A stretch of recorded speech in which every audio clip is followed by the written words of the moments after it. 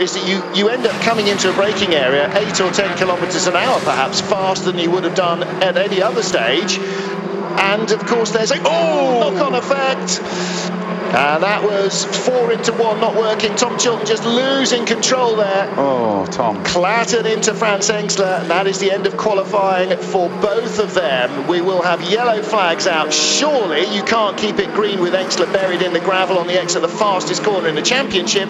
Red flags are out very unfortunate for uh, Franz Engstler and very unfortunate for Tom Chilton too as well. There will undoubtedly be a penalty to pay for that, I, I would, would think. thought they could have moved that car without... Uh, not without a tractor, not, not, not when cars are coming in at the speeds oh. they are in qualifying. You know, I mean, you see how close he is to the edge of the track, Matt. You just can't risk having a Unfortunately, there's there. no runoff area here, and you, you, you arrive at these corners with incredible commitment, and just the front didn't stick for Tom. It's like the Brands Hatch Grand Prix circuit. You can see Kurt Tremmel there on the right-hand side, the team manager, the Austrian boss of uh, the mechanics here at Engstler team. They've got 400 guests when he won in Oschersleben, they had 300 guests on hand. He's got 400 guests coming here because it's even closer to their Bavarian heartland.